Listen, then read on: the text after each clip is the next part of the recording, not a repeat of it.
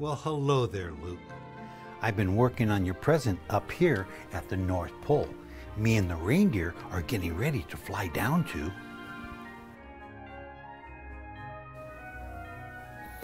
Your home.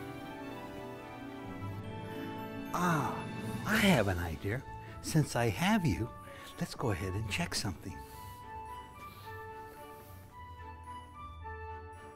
Oh, there you are.